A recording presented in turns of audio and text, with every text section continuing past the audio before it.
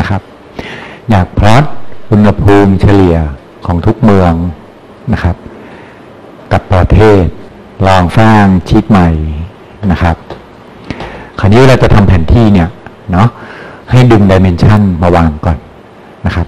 dimension ที่จะเอามาวางให้เป็น dimension ที่เป็น location นะครับ เป็น location เราอยาก plot country ใช่ไหมครับ ดูซิ dimension ไหนมันเป็น locationอันนี้เนาะใช่ไหมครับ แล้วก็ลากคันทรีมาวาง ปุ๊บเนาะก็จะได้พลอตของแผนที่นะครับนะพลอตจุดของประเทศนะตามตามคันทรีที่มี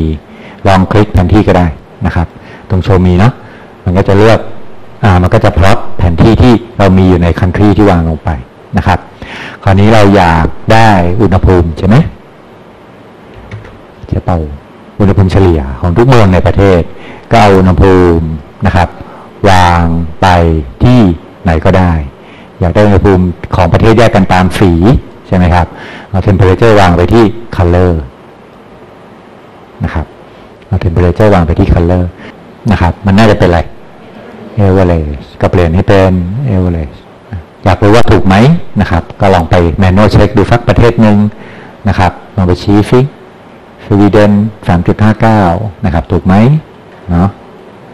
ถ้าเลือกแผนที่ที่เป็นจุด นะครับเนาะก็ได้ อันนี้คือไซส์ default ของมันไซส์ของจุดก็แสดงค่านะครับสัมพันธ์กับค่าทาเบลอเนี่ยนะครับขยายได้นะครับ เวลาจะขยายกดบวกลบตรงนี้เนาะนะครับ เวลาจะขยับขยับนี่เมนูมันซ่อนอยู่นะครับ ต้องมาเลือกเมนูอื่น ๆก่อนอื่นๆนี่คือเป็นเครื่องหมาย play นะครับ แล้วก็ไปเลือกแผนนะครับ ก็จะก็จะขยับแผนที่ได้นะครับ เมื่อกี้นี้มันเป็นอุณหภูมิเฉลี่ยของประเทศใช่ไหมคราวนี้ถ้าเราไม่เฉลี่ย เราเอาเมืองนะครับ เอาเมืองอพลอตระหว่างเมืองนะครับ กับอุณหภูมิของแต่ละเมือง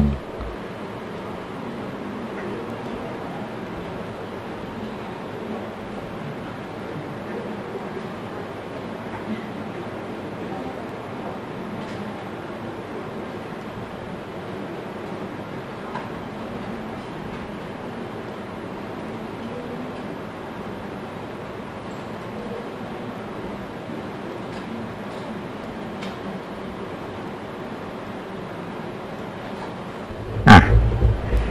ข้อสาม นะครับ แสดงว่าประเทศไหนอยู่ใน EU บ้าง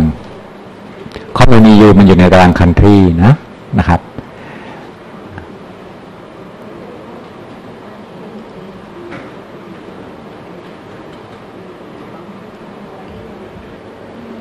ลืมไปนิดหนึ่งนะครับ ว่าถ้าเราอยากเอากราฟเนี้ย ไปพรีเซนต์ worksheet นะครับ export image เนาะมันจะ export มาเป็นรูปภาพได้นะครับ แล้วก็เอาไป present ต่อ พอได้ image ปั๊บนะครับ มันจะถามว่าจะเอาอะไร export ออกไปบ้าง title ชื่อกราฟเอาไหมนะครับนะรูปกราฟเอาไหม legend legend คือคำบรรยายนะครับคำบรรยายคืออันที่อยู่ข้างๆกราฟเนี่ยบอกว่าสีไหนคืออะไรอะไรเงี้ยนะครับ